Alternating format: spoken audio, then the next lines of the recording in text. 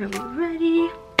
We're good. Hello my beautiful family and welcome back to another video. So today I wanted to share some dress code appropriate outfit ideas and I hopped on Instagram as I always do and I asked you to submit all of your school's dress code rules and I got so many responses so thank you to each and every one of you who participated. But I'm gonna go ahead and scoot over here so you guys can kind of see what the responses looked like. But the most common ones that I saw were actually ones that were at my high school as well back when I was in high school like five years ago. I graduated in 2012 actually and I still can't do math. Wait that was like seven years ago are you kidding me wow seven years since I graduated high school oh my gosh I'm so old oh my gosh my high school reunion is in three years what the heck wait Wow. I have my handy dandy iPad here and I'm looking through your responses. So here are the rules that I'm gonna incorporate in this video. No shoulders showing, nothing cropped. That might be a problem because most of my wardrobe is cropped clothing, but we'll make it work. We'll figure it out. No short shorts. Again, we might have a problem. I'm like 5'2", and I usually wear shorter shorts because it elongates my legs and makes me look a little bit taller than I actually am. So if there's a dress, it has to be longer than your fingertips, spaghetti straps. Honestly, I feel like you can get away with this if you wear cardigans. I remember doing this a lot in school. Anyways, those are the rules we're gonna roll with. And of course, this is more for outfit inspiration. So if you have an item that works better than what I have, definitely feel free to switch it out. Just wanted to make that disclaimer. For this first outfit, I'm keeping things relatively simple. Oh wait, there's a bag there because I put my shoes on over there so I wouldn't get the carpet dirty. Anyways, I'm pretty sure most of you have this outfit in your closet. I would be concerned if you didn't, but I'm wearing a basic t-shirt with some denim jeans that I decided to roll up on the bottom and then pair it with my Fila's. Now Fila's go with literally everything. They're like the new Converse. Yeah, I thought we'd keep it simple for this first outfit. When you're wearing such a simple outfit, I definitely recommend accessorizing as much as you can. I have these gorgeous earrings on right here. And then I also have this necklace from Mejuri.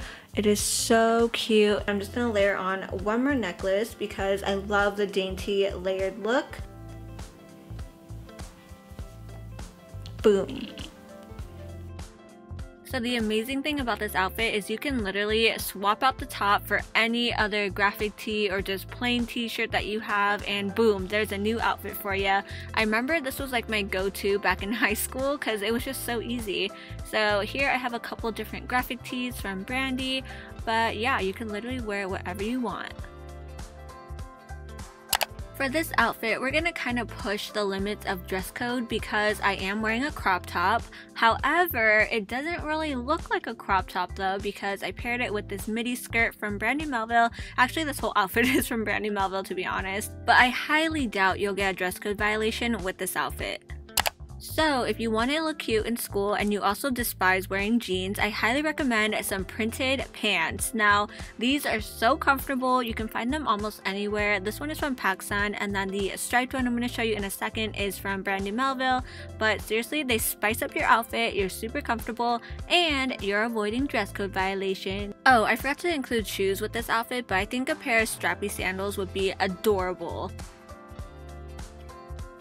Okay, we're gonna push the limits of dress code violation a little bit in this outfit. So, I love t-shirt dresses and the best solution to get away with this, I feel like, is wearing biker shorts underneath because biker shorts are trendy right now and also they are a lot longer than short shorts, obviously. So here I'm wearing an oversized t-shirt that I got at Uniqlo with some biker shorts, which Jeff actually hates, but they kind of go with this outfit, I think. And then I paired it with my Doc Martens, but yeah, let me know if your school would let you get away with this outfit. I know mine would just because where we lived was like 100 degrees. For this next outfit, I'm going to be wearing a dress because as a lot of you mentioned, if you wear a dress or a skirt, it has to be longer than the end of your fingertips, which I think this one is like right there. It might be like a little shorter, but like I don't think it'll be that big of a deal. Just make sure you wear shorts under. And to complete this outfit, I paired it with my Doc Martens and layered a bunch of necklaces and that is it. I'm pretty sure you shouldn't get dress code. For this last outfit, I am yet again pushing the limits of dress code. Now, this cami has a spaghetti strap, which a lot of you say your school does not allow, and my school didn't like that either. So, what we're gonna do is wear a cardigan over it, which honestly, I feel like you should be fine. There's no reason why wearing a cardigan over your spaghetti strap shirt is an issue. It's only an issue if you like take it off or whatever, I guess, but if you're wearing it the whole day, you should be good to go. And I do recommend tucking in your cami just to give your body a little bit more of a silhouette. To complete this outfit, I'm pairing it with some platform sandals. Now these have straps. And after reading your responses, it seemed like anything but flip-flops was a good option at your school and that was the same way it was at my high school. I actually remember girls wearing wedges with their dresses in the summertime. So yeah, I guess it just depends on your school.